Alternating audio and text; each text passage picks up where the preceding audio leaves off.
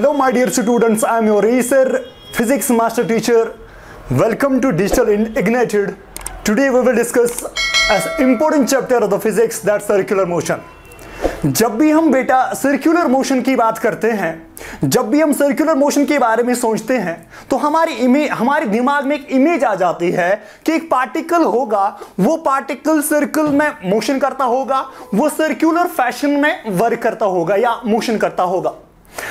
Let's take an example after that we will discuss अगर मैं बात करूँगा फॉर एग्जांपल मेरे पास एक बॉल है या मेरे पास एक पत्थर है स्टून है, इसको मैंने सिटिंग से बांधा है और मैं इसको इस तरीके से रोटेट कर रहा हूँ। वो दैट मीन्स यहाँ पर कोई ऐसा चीज़ होगा जो इस पार्टिकल को मजबूर करता है सर्कुलर मोशन करने में। वो कौन सा चीज़ होगा? वो होगा हमारे पास टेंशन वो टेंशन रेस्पॉन्सिबल है सर्कुलर मोशन के लिए. For example if I talk about like this मेरे पास ये एक पॉइंट है मास है, और इसको मैंने थोड़ी सी वेलोसिटी दे दी, और ये इस तरीके से घूमता रहेगा। वो दैट मीन यहाँ पर away from the mass tension होगा। Here in this example tension is responsible for circular motion tension is responsible for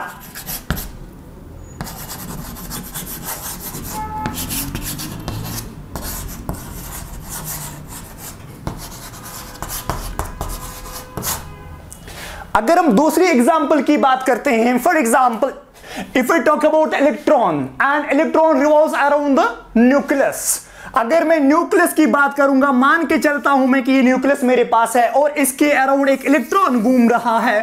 इस न्यूक्लियस का जो चार्ज होगा बेटा, अगर मैं टॉक अबाउट करूँगा, इसका जो हमारे पास एटॉमिक नंबर होगा let that atomic number is Z अगर मैं इसका एटॉमिक नंबर जेड लूँगा और मैं चार्ज लूँगा, जो एक प्रोटॉन की जो चार्ज होती है that mean 1.67 into ten minus 19 coulomb that means इसको मैं ई e से डिनोट करता हूँ तो दैट मीन जहाँ पर जो नेट चार्ज इस न्यूक्लियस की बनी, वो बना जड इंटू ई ठीक है बेटा? और ये इलेक्ट्रॉन घूम रहा है यहाँ से।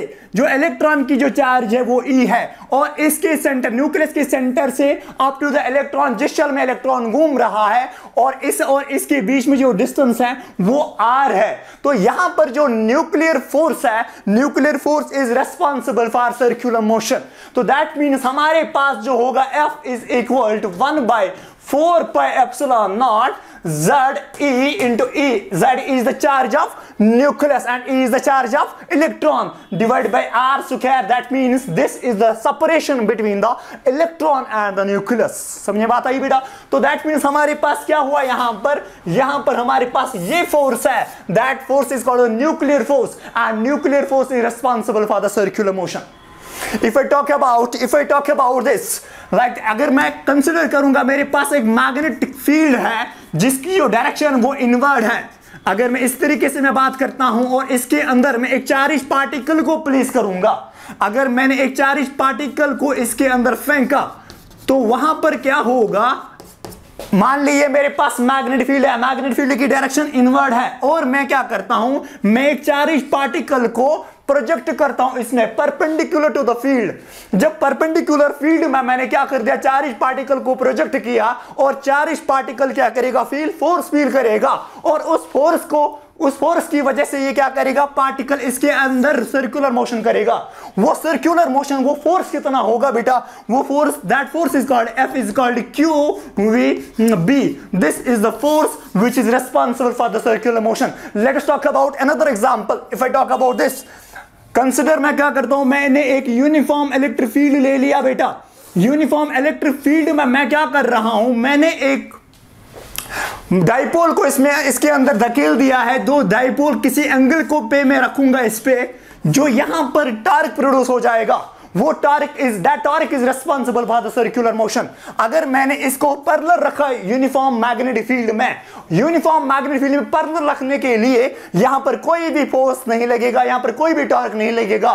तो ये सर्कुलर ये जो डाइपोल होगा, ये एज इट इज़ रहेगा। मगर जो ही मैंने थोड़ा सा इसको एंगल दिया, यहाँ पर टार्क प्रोड्यूस हो गया and that torque is responsible for the circular motion वो जो मैं टार्क की जो इक्वेशन है, वो है P cross E that mean dipole moment into the electric field go that mean यहाँ पर जो टार्क है, ये टार्क रेस्पॉन्सिबल है सर्कुलर मोशन के लिए. These are few examples if I talk about another example मैं यहाँ पर क्या कर रहा हूँ? मैंने क्या किया? मैंने एक प्लेनेट लिया। प्लेनेट के अराउंड सैटेलाइट घूम रहा है। जिस प्लेनेट का मास में लेता हूँ कैपिटल एम एंड सैटेलाइट का मास लेता हूँ सुमाल एम और जो इनके बीच में जो सेपरेशन है that separation will be there and that force जो यहाँ पर क्रिएट हो जाएगा that means F is equal to G M M by R square here this gravitation force which is responsible for the circular motion वो in short में ये कहना चाहता हूँ मेरा जो कंक्लूजन अभी तक है, वो ये है कि जो पार्टिकल होगा पार्टिकल खुद ही सर्कुलर मोशन नहीं करेगा। इसके लिए कोई ड्राइविंग फोर्स होना चाहिए। दैट उस ड्राइविंग फोर्स को मैं आगे जाके कुछ और नाम दूँगा जब हम डायनामिक्स पढ़ेंगे। फ़िलहाल हम कैनामेटिक्स की बात करते हैं। तो यहाँ पर क्या होगा? कोई फोर्स होगा, जिस फोर्स की वजह से ये पार्टिकल घूम रहा है, जिस फोर्स की वजह से ये पार्टिकल सर्कुलर मोशन कर रहा है। बट यहाँ तक ही हमारी जो, हमारा जो लेक्चर है, यहाँ तक ही नहीं रहेगा। आगे जाकर जब हम देखते हैं, अगर हम नीट की बात करते हैं, अगर आप जेई मेंस की specially JEE mains and advance की बात करोगे, नीट लेवल तक तो आपको पार्टिकल दिया जाता है क्वेश्चन दिया जाता है, वो दिया जाता है, आपको सर्कुलर पार्ट ही होगा। पार्टिकल सर्कुलर फ़ैशन में ही मोशन करता होगा। जब हम आगे जाके देखते हैं बड़े बड़े एग्ज़ाम्स में, वहाँ पर आपको थोड़ा सा गेम को चेंज करना पड़ता है। वहाँ पर आपको frame of reference with respect to the observer देखना होगा। कभी कभी ऐसा होगा कि ऑब्जर्वर के हिसाब से, एक ऑब्जर्वर की अगर मैं एक पोजीशन दूँगा उसको, उस पोजीशन की वजह से शायद वो क्या कर रहा होगा लीनियर मोशन कर रहा होगा। और दूसरा जब हम देखेंगे, वहाँ पर अगर इस पोजीशन में चेंज करूँ करूँ, वहाँ पर क्या होगा, उसको उसके हिसाब से, शायद उस पोजीशन के हिसाब से आपका सर्कुलर मोशन हो जाएगी। Let's take an example for example मैं क्या कर रहा हूँ, मैंने, मैं घर से निकला ठीक है, यहाँ पर जब मैं घर से निकला, यहाँ पर मेरी मम्मी मुझे ऑब्ज़र्व कर रही है। That mean position of the observer इसके हिसाब से मैं क्या कर रहा हूँ, मैं लीनियर मोशन कर रहा हूँ। अगर मैं क्या करूँगा, इस पॉइंट को मैं लूँगा पोजिशन नंबर ए इस पोजिशन के हिसाब से जो इसका इसका फ्रेम ऑफ़ रेफरेंस हम लेंगे। इसके हिसाब से मेरा क्या आता है? मेरा लीनियर मोशन आता है। बट हम बात करते हैं सर्कुलर मोशन के हिसाब से। अगर मैं इसकी पोजीशन को चेंज करूँगा, अगर मैंने मम्मी को बोला कि आप यहाँ पर मुझे ऑब्ज़र्व करिए, और यहाँ पर ऑब्ज़र्व करने की वजह से यहाँ पर जो मेरी मम्मी देख रही है, मुझे उसके हिसाब से शायद मैं क्या कर रहा हूँ? सर्कुलर मोशन कर रहा हूँ। देख लेते हैं कैसे। मान ले मेरी यूनिफॉर्म इलास्टी है तो मैंने एक टाइम टी में यहाँ से लेके यहाँ तक चला और दूसरे में यहाँ से लेके यहाँ तक चला। यहाँ से जो इसकी पोजीशन हो गई है इस तरीके से होगी इसके साथ। यहाँ पर एक एंगल बना that angle is called theta वो दैट मींस यहाँ पर इस पोजीशन के हिसाब से, जब ये यहाँ पर मुझे ऑब्ज़र्व कर रही थी एनालिसिस कर रही थी, यहाँ से इसके हिसाब से मैं क्या हूँ, ये लीनियर मोशन कर रहा हूँ।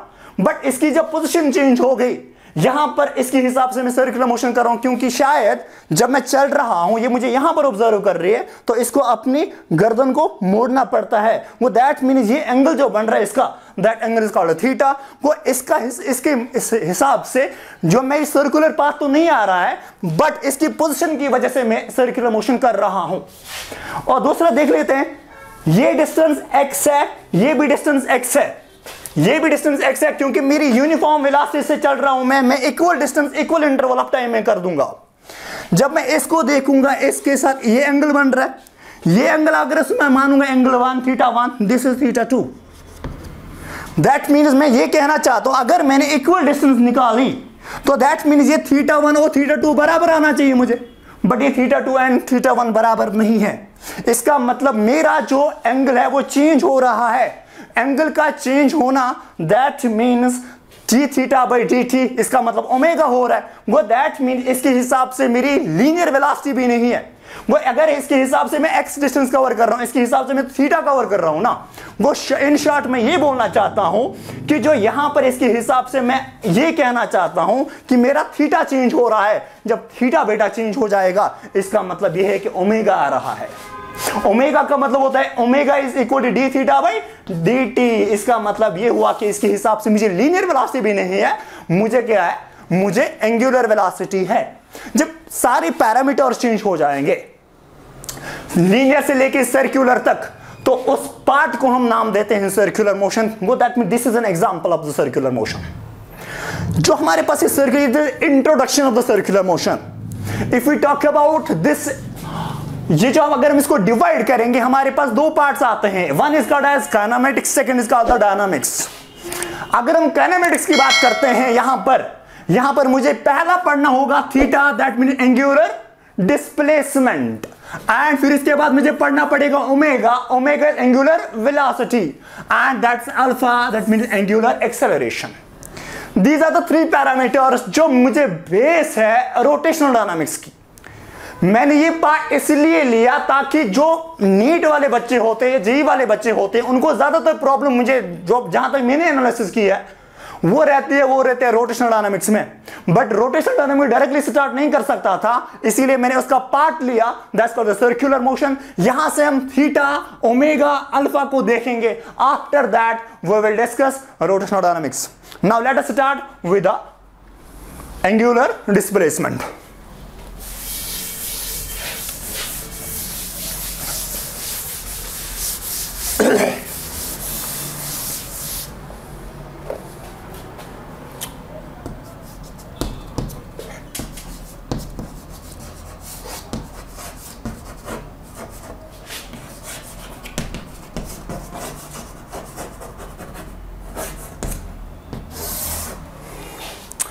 angular displacement क्या होता है?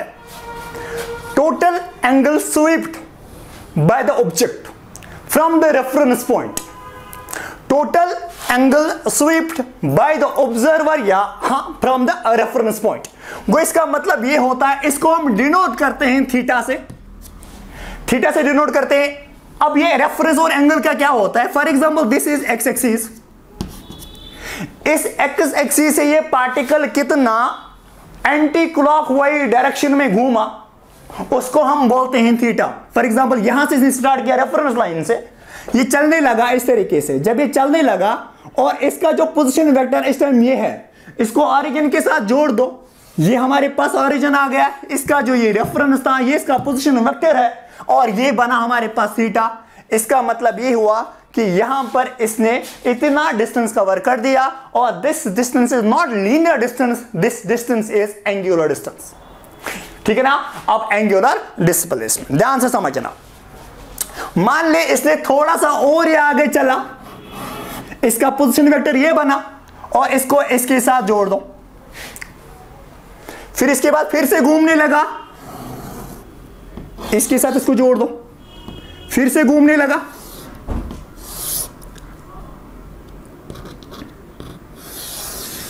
करते करते करते करते ये पूरा एंग ये रोटेट कर रहा है, फिर से अपनी जगह पे पहुँचा।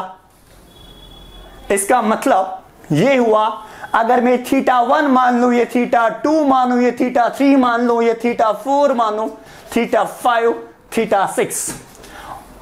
Sum of all the theta is equal to two pi this is theta one plus theta two plus theta three plus theta four plus theta five plus theta 6 will be equal to 2 pi. Pi is, here pi is not 3.14 here pi is 180 degree. वो that means total ये घूमा कितना? 360 वो इसका मतलब ये हुआ कि जब भी एक पार्टिकल जब भी आपको लगेगा कि ये पार्टिकल क्या कर रहा है? सर्कुलर मोशन कर रहा है। तो इसके हिसाब से जो वन चक्कर होगा इसका, वो किसके बराबर होगा? टू पाई के साथ।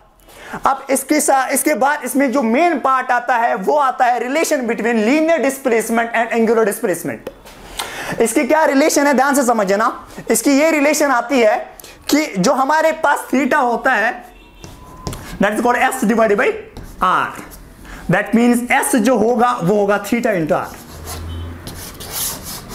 why S is linear displacement and theta is angular displacement जो हमारे पास ध्यान से समझना, अब अगर मैं ये सर्कल लूँगा, ये पार्टिकल इस डायरेक्शन में घूम रहा है, इसका इसका रेडियस आर है। अब इसकी डायरेक्शन कैसी होगी, ध्यान से समझना। जो हमारे पास curl finger in the direction of the motion where thumb goes as the direction of displacement curl the fingers in the direction of motion where thumb goes as the direction of angular displacement तो that mean यहाँ पर जो इसका क्या आया? ये direction हुई। बाहर की तरफ़ तो इसको यहाँ पर डॉट लगा देंगे हम। आपने स्क्रू को देखा होगा, जब हम स्क्रू को इस तरीके से मोड़ते हैं तो स्क्रू बाहर निकल के आता है। दैट मीन डिस्प्लेसमेंट जो हमारे पास डिस्प्लेसमेंट होती है, वो बाहर की तरफ़ होती है। आपने बोतल का ढक्कन खोलना है। इस तरीके से खोलेंगे यहाँ से तो ये क्या करेगा? ये बाहर की तरफ़ निकलेगा। तो इसको क्या नाम देंगे हम? इसको हम नाम देते हैं डायरेक्शन किस तरीके से कैलकुलेट करते हैं? By right hand thumb rule से। फिर इसके बाद और एक इंपॉर्टेंट चीज़ ये है, यहाँ पर इसको हम मैग्नीट्यूड वाइज लेते हैं।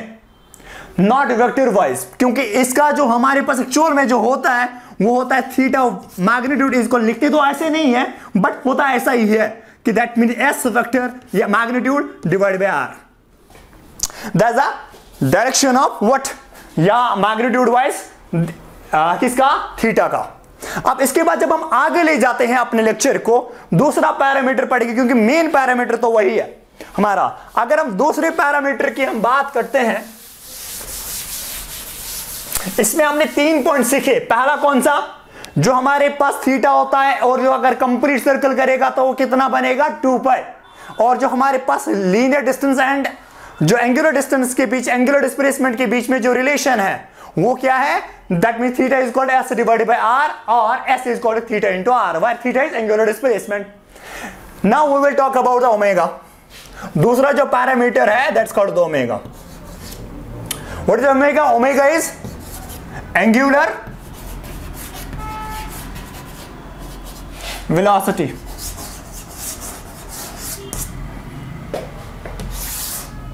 Angular velocity इसको हम डिनोट करते हैं पहले हमें, इसको डिनोट कैसे करेंगे? थीटा से। किसके बराबर होगा? Omega is got D theta by D T change in angular displacement ठीक है ना? विद रेस्पेक्ट टू टाइम वो क्या हुआ? वो ओमेगा क्या हुआ? ओमेगा अब इसके बाद ध्यान से समझना। जब हम इसकी बात करते हैं, जो मैंने अभी तक एग्जांपल ली ली थी, वो क्या मैंने बोला था? मैंने बोला था आपको कि अगर मेरे पास ये एक, मैं नॉर्मली चल रहा हूँ यूनिफॉर्म वेलोसिटी से, मैंने इतनी डिस्टेंस कवर कर दी। एक टी वन इंटरवल में और दूसरी डिस्टेंस भी यही करूँगा टी इंटरवल में। ठीक है ना? तो ये क्या होगा? ये मेरे पास सीटा वन बनेगा। ये मेरे पास सीटा टू बनेगा। जब आप बेटा गाड़ी में चलते हो, गाड़ी में चलने के बाद जब आप पहले नज़दीक जब गाड़ी चलेगी, जब अगर आप चीज़ों को देखोगे, जो नज़दीक वाला चीज़ होगा, वो आपको शॉर्ट ड्यूरेशन ऑफ़ टाइम के लिए दिखेगा। जब आप गाड़ी चलेगी और जो दूर वाला चीज़ होगा वो आपको बहुत टाइम तक दिखेगा। क्योंकि इसका मतलब ये होगा क्योंकि ये थीटा जो इसके साथ बन रहा है आपको दूर वाली चीज़ के साथ वो इतना जल्दी चेंज नहीं होता है। क्योंकि इसमें डी डी थी, थीटा टू जो हो है वो क्या है? वो कम है as compare to theta one वो दैट मीन इन थीटा के बीच में जो D theta by D T होता है वो चेंज हो जाता है उसी को हम ओमेगा बोलते हैं। इसी के हिसाब से जो ये बंदा देख रहा है आपको उसके हिसाब से आप क्या कर रहे हो? एंगुलर वेलासिटी कर रहे हो। मैं इसमें भी इंटरेस्टेड नहीं हूँ। मैं कुछ और बोलना चाहता हूँ आपको। जब हम देखते हैं, जो एक्चुअल में ओमेगा जिसमें मैं, मुझे इंटरेस्ट है, वो ये है कि जिसे आपको बहुत सारे क्वेश्चन सॉल्व हो जाएँगे, वो ये है कि ओमेगा इज़ इक्वल जो हमारे पास आ जाएगा ओमेगा इज़ कॉल्ड थीटा ठीक है ना? ध्यान से समझिए ना, मैं बोलूँगा आपको omega is equal to perpendicular velocity divided by distance from observer to the position point जो पॉइंट एंड ऑब्जर्वर के बीच में जो डिस्टेंस रहेगी, उससे आपको डिवाइड करना होगा। जो आपके पास वेलासिटी होगा वेलासिटी के दो कंपोनेंट हो जाएँगे बिकॉज़ वेक्टर रेजोल्यूशन दो वेक्टर, एक वेक्टर को क्या करोगे आप? रिजोल्व करोगे दो कंपोनेंट्स में। जब रिजोल्व हो जाएगा दो कंपोनेंट्स में आफ्टर दैट आप क्या कर दोगे? आप वो वाला कंपोनेंट लोगे जो परपेंडिकुलर वाला कंपोनेंट होगा, क्योंकि आपको वो वाला वेलोसिटी वाला कंपोनेंट चाहिए, जिसकी वजह से आपको लगेगा कि ये पार्टिकल क्या करेगा? सर्कुलर मोशन करेगा। जो पर्नल वाला कंपोनेंट होगा, वो पार्टिकल को सिर्फ़ दूर ले जाएगा, रोटेट नहीं करेगा। जिसकी वजह से क्या होगा, जिसकी वजह से सर्कुलर मोशन जो हमारा मेन मकसद है सर्कुलर मोशन का, वो हमारा फुलफिल नहीं हो जाएगा। इसलिए मैं बोल रहा हूँ आपको क्या परपेंडिकुलर वेलोसिटी वाला कंपोनेंट ले लो और डिवाइड करो उस वाले डिस्टेंस से, जो कि होगा ऑब्जर्वर एंड पॉइंट के बीच में, जो डिस्टेंस रहेगी वो वाली। फॉर एग्ज़ाम्पल अगर मैं बात करूँगा इसी वाले एग्ज़ाम्पल की लेट दिस वेलोसिटी मेरे पास जो वेलोसिटी थी, वो वी थी। क्योंकि जो मेरे पास यूनिफॉर्म वेलोसिटी है, इस वेलोसिटी को ये ऑब्जर्वर मेरा यहाँ पर है। यहाँ पर मेरा पॉइंट है, जिसको जिसको मैं एनालिसिस कर रहा हूँ। इस वेक्टर को, इस वेलोसिटी वाली वेक्टर को आप दो रिजोल्व करो टू कंपोनेंट्स में पहला कंपोनेंट ये बनेगा। इसको क्या बोलेंगे? वी परलल वाला कंपोनेंट है। और ये वाला कंपोनेंट क्या जाएगा? वी परपेंडिकुलर वाला कंपोनेंट आ जाएगा। जो ये वी परपेंडिकुलर होगा, आप देख लो, इसके हिसाब से ये घूमने लगेगा। ठीक? इसीलिए मैंने बोला कि वे, मुझे वो वाला कंपोनेंट चाहिए, जिसकी वजह से क्या होगा? जो पार्टिकल को घुमाएगा। ठीक? दैट मीन वी परपेंडिकुलर आप मुझे ये वाला आर कौन सा चाहिए? क्योंकि मुझे पता है कि ओमेगा किसके बराबर होगा? वी बाई आर ठीक है बेटा? तो दैट मीन वेलोसिटी तो मुझे मिला वी परपेंडिकुलर अब आर कौन सा? ये वाला आर नहीं लेना है बेटा। ये वाला आर लेना। ऑब्जर्वर से लेके पॉइंट तक, ये वाला आप आर ले लोगे। क्लियर बेटा बात? तो इसमें मैं इंटरेस्टेड हूँ। आप ध्यान से समझना। अब एक क्वेश्चन कर लेते हैं तो आपके आपको पूरा क्लियर हो जाएगा।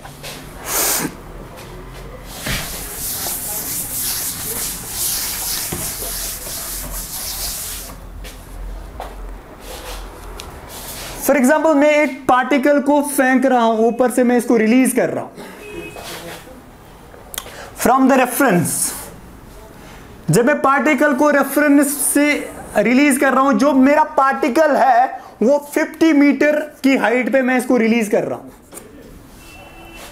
जो ही मैंने बेटा 50 मीटर की हाइट से मैंने इसको रिलीज़ किया रिलीज़ करने के बाद यहाँ पर मुझे इसका जो ऑब्जर्वर होगा ये ऑब्जर्वर 40 मीटर की दूरी पे इसको देखता है।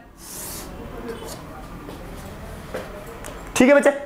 अब इसके बाद मुझे बता दीजिए, इसकी क्या वेलासिटी होगी? आफ्टर टू सेकंड इसकी क्या पोजीशन होगी? पहले मुझे बताना है वेलासिटी क्या होगी और मुझे बताना है position of particle after two seconds थोड़ा सा काइनेमेटिक्स भी यूज़ हो जाएगी। अब अगर मैं क्या करूँ, यहाँ पर जब ये पार्टिकल रिलीज़ में यहाँ से कर रहा हूँ इसको,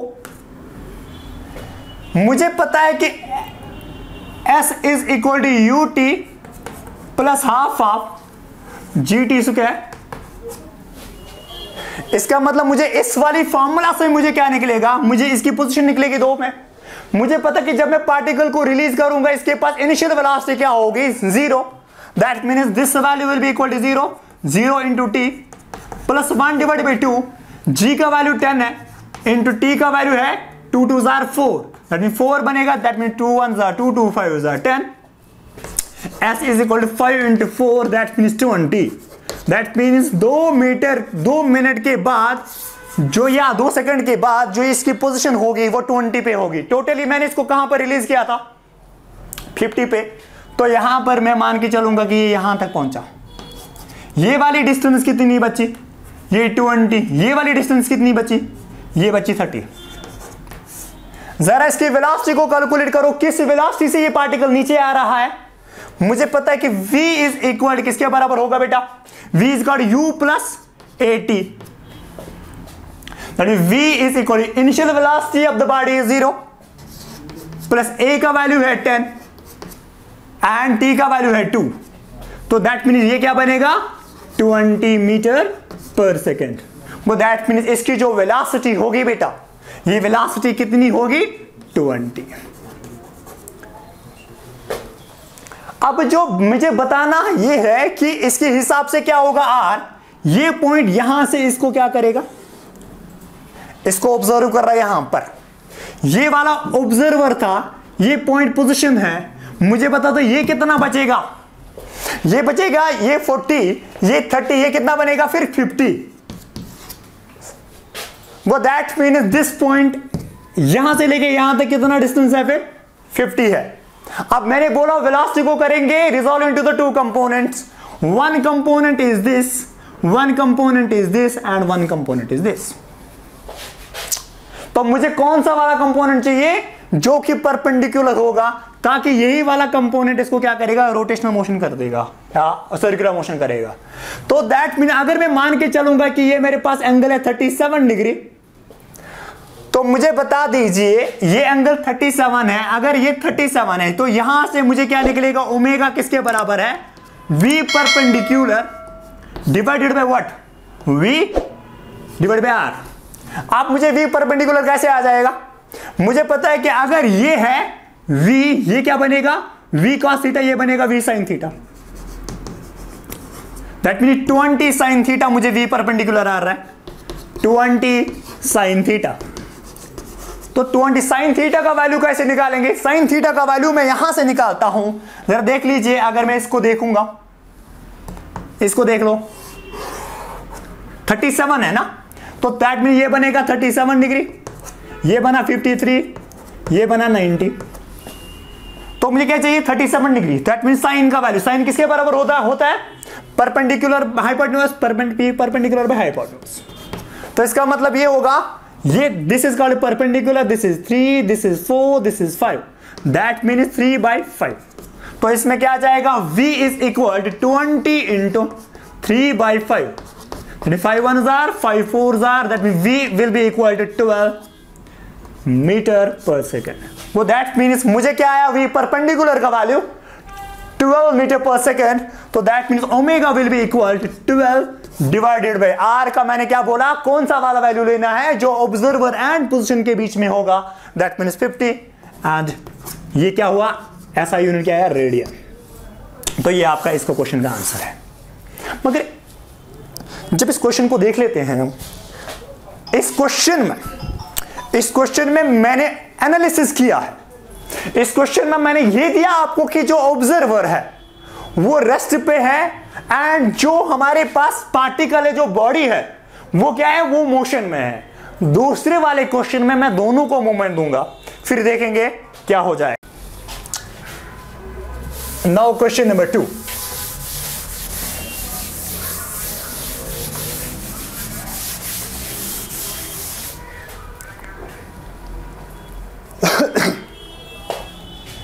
मान ली, ये मेरे पास ऑब्जर्वर है, ये मेरे पास पॉइंट है। इनके बीच में मैंने 10 मीटर डिस्टेंस रखी। इसकी जो वेलासिटी ये वाली वेलासिटी है विद रेफरेंस के साथ इसको है 30 53 डिग्री एंगल ये है, इसकी जो वेलासिटी वो 10 मीटर पर सेकंड है। और इसकी जो वेलासिटी डाउनवर्ड है, वो 5 मीटर पर सेकंड लेंगे। इसको जो ये एंगल बन रहा है, ये बन रहा है थर्टी सेवन डिग्री चले बेटा, ये भी चल रहा है, ये भी चल रहा है। मैंने आपको एक शॉर्टकट बोला, मैंने बोला, जब भी आपको वेलासिटी वाला कंपोनेंट मिलेगा वेलासिटी मिलेगी, उसको रिजोल्व करो टू कंपोनेंट्स में। पैरेलल वाले कंपोनेंट को छोड़ दो। जो भी आएगा, उसको कैलकुलेट ही नहीं करना। हमें वो वाला कंपोनेंट चाहिए जो परपेंडिकुलर वाला कंपोनेंट होगा, ताकि मुझे पता है कि ओमेगा को मैंने इक्वेशन दी आपको। मैंने बोला, मुझे ओमेगा बराबर होता है वी परपेंडिकुलर बाय आर और आर का वैल्यू कौन सा लेना है? जो डिस्टेंस बिटवीन होगा ऑब्जर्वर एंड पॉइंट के बीच में।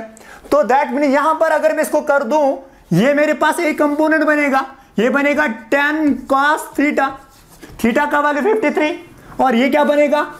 टेन साइन ऑफ़ 53 और इन 37, 53 ज़्यादातर दिए जाते। पहले तो आपने टेंथ में पढ़ाई होगा टेक्नोमेट्रिक टेबल ठीक है उसको तो याद करना ही करना है। दूसरा दो और वैल्यूज़ दिए जाते हैं ज़्यादातर क्वेश्चंस में। एक आता है 37 दूसरा आता है 53 तो उसको मैंने बोला कैसे याद करते हैं? ये इस ट्रंगल से इसको याद किया जाएगा। ठीक है ये क्या बना? थ्री ये फोर ये फाइव तो इसको मैं थोड़ा सा वैल्यू निकाल के रखूँगा। तो आप याद रखोगे। इस वाले एंगल को मैं 37 डिग्री एंगल दूँगा। इस वाले एंगल को मैं 53 लूँगा। ठीक है बच्चा? This is four this is three and this is five तो मुझे पता है कि साइन कॉस टेन कॉट ऐसे तीन मुझे चाहिए तो फिर इसके बाद उनका उल्टा हो जाएगा। ध्यान से समझ तो that mean p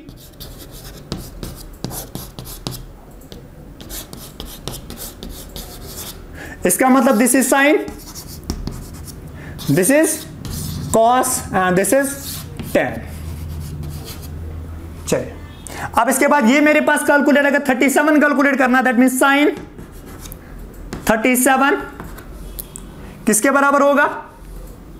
perpendicular by hypotenuse perpendicular कौन सा? Three that mean three by five चलो आप एंगल चेंज करते हैं साइन का ही निकालेंगे। साइन किसके बराबर अब क्या बनेगा? साइन 53 किसके बराबर होगा बेटा? परपेंडिकुलर बाय हाइपोटेन्यूज परपेंडिकुलर इस टाइम कौन सा?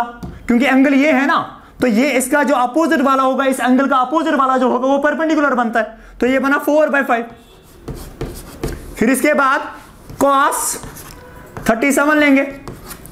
कॉस 37 बेस बाय हाइपोटेन्यूज तो दैट मीन बेस कितना फोर फोर बाय फाइव फिर इसके बाद कॉस 53 ये बना बेस क्या? Three three by five three by five तो ये हमारे पास चार वैल्यूज़ है जो आपको याद करने हैं। ज़्यादातर जो क्वेश्चंस आते हैं, वो इन्हीं चार, तीन चार वैल्यूज़ में आ जाते हैं। ठीक है बच्चा? अब इसके बाद जरा देख लो आप इस क्वेश्चन को कैसे करेंगे। ये है मेरे पास 53 साइन वैल्यू पता? कर दो फिर। तो इसका ओमेगा अलग आ जाएगा ना? तो इसका ओमेगा क्या बनेगा? ये मेरे पास परपेंडिकुलर है दैट मीन्स ये मेरे पास ये वैल्यू आ जाएगा, वो आएगा टेन साइन ऑफ़ 53 डिग्री इसका, वो बना टेन इंटू साइन फिफ्टी के बदले, यहाँ पर, देख लीजिए sine fifty four by five that mean four by five सीधा लगाना है। दैट मीन फाइव वन जार फाइव फाइव टू जार five two jar ten two into four that mean eight eight metre per second वो that mean ये जो velocity हुई perpendicular इसका क्या वैल्यू आया? एट अब इसके बीच में क्या डिस्टेंस है? इसके बीच में डिस्टेंस टेन है। तो ओमेगा वन जो ऑब्जर्वर है, ये पॉइंट है। किसके बराबर? ओमेगा पी में इसको नाम रखू। तो दैट मीन ओमेगा पी किसके बराबर हुआ? वो हुआ टेन साइन इसके बदले एट और ये क्या बना? यहाँ पर टेन तो मुझे आया ज़ीरो पॉइंट एट ठीक है? अब इसके बाद इसको देख ले। ये इसको करो resolve into the two components one component like this and another component is this ये क्या बना? फाइव ये कॉस ये sine five sine of thirty fifty thirty seven तो क्या बना? 37 किसके बराबर होगा? Three by five that means five into three by five five five Kansas that mean वो आया थ्री इसका क्या आया? थ्री वो दैट मीन्स ओमेगा जो ऑब्जर्वर हुआ ओ उसका आया थ्री बाई टेन अब जरा देख लीजिए, ये एक दूसरे के साथ ही चल रहे इस तरीके से, ये इस तरीके से चल रहे एक ही डायरेक्शन में दोनों घूम रहे हैं ना? जब एक ही डायरेक्शन में घूमेंगे दोनों तो क्या होगा? ओमेगा का, अगर वो opposite direction relative of omega अगर ये अपोजिट डायरेक्शन में घूमेंगे तो प्लस हो जाता है। जब ये सेम डायरेक्शन में घूमेंगे तो माइनस हो जाएगा। दैट मीन मुझे ओमेगा नेट चाहिए था इस क्वेश्चन का not omega one and omega two मुझे ओमेगा नेट कैलकुलेट करना था। दैट मीन ओमेगा जो नेट हुआ, वो किसके बराबर हुआ? Omega p minus omega o divided by r clear बात? तो दैट मीन ओमेगा मुझे ऑलरेडी कैलकुलेट करके है। दैट मीन्स 0.8 माइनस ज़ीरो तो कितना बना? Omega is equal to zero point five radian second ये मेरे पास हुआ आंसर इस क्वेश्चन का। इसके बाद, ये हुए थोड़े से हायर वाले क्वेश्चंस अब जो नीड वाले क्वेश्चंस आ जाते हैं, वो इस तरीके से देखते हैं।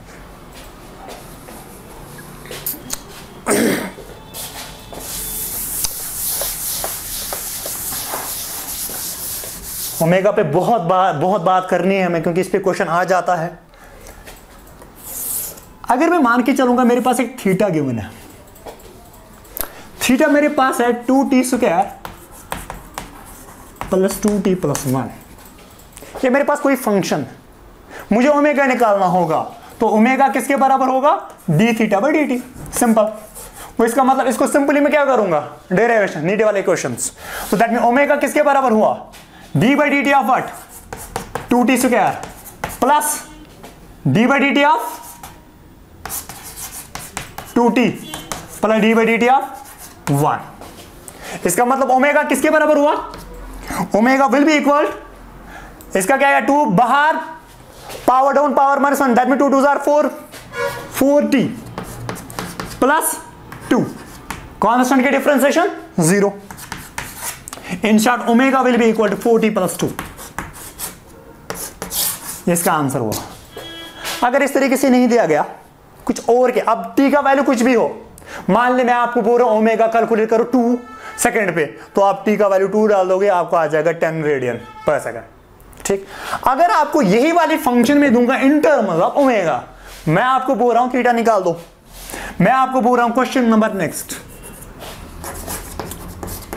क्वेश्चन मेरे पास है omega will be equal to this two t square plus two t plus one यही वाला सेम फ़ंक्शन बट इस टाइम मैं इसको ओमेगा दे रहा हूँ ना थीटा तो मुझे क्या करना पड़ेगा? जब ये पहले एक क्वांटिटी से पहले की बात कर रहा है, बेटा, वहाँ पर आप क्या करोगे? आप इंटीग्रेशन कर दोगे। जब ये फार फॉरवर्ड वाली डायरेक्शन में बोल रहा कैलकुलेट करो वहाँ पर, आप डिफरेंशिएशन कर दोगे। तो दैट मीन यहाँ पर क्या आ जाए? मुझे पता है कि omega will be equal to किसके? बड़ी थीटा बाई डी टी मुझे क्या चाहिए मगर? डी थीटा चाहिए। मुझे थीटा चाहिए। इसको इसके साथ मल्टीप्लाई कर दो। Theta will be equal to omega d t integrating on both sides जब इंटीग्रेट कर दोगे तो that mean integration d theta will be equal integration of omega d t omega value put कर दो. क्या जाएगा? ओमेगा का वैल्यू यहाँ पर two t square plus two t plus one जब यहाँ पर इसका वैल्यू कर दोगे आप, फिर इसके बाद इंटीग्रेट कर दो. इंटीग्रेट आपको फार्मूला पता है. फार्मूला कौन से इंटीग्रेशन की? यहाँ पर मैंने कर दिया एक्स टू पावर एन किसके बराबर डिफरेंशिएशन वो आएगा n down n plus one जब इंटीग्रेशन हो जाएगी एक्स पावर एन की, वो किसके बराबर होगा? X power n plus one divide by n plus one power plus one divide by power plus one तो अब यहाँ पर देख लीजिए, ये बाहर तो क्या बनेगा? टू टी ये बने, यहाँ पर क्या बनेगा? ये बनेगा टू यहाँ पर बनेगा two t plus one divide by three three divide by two t cube plus यहाँ पर क्या बना? ये बाहर that means two divide by two square divide by two इसकी कौन सा एज रहेगा? तो बना यहाँ पर आपको two by three t cube plus t square plus one अब यहाँ पर आप वैल्यू डाल दो टी का वैल्यू जो भी क्वेश्चन में गिवन होगा, इस हिसाब से आपका क्वेश्चन में आंसर निकलेगा। ठीक है? इंशाल्लाह नेक्स्ट लेक्चर कल। Thank you so much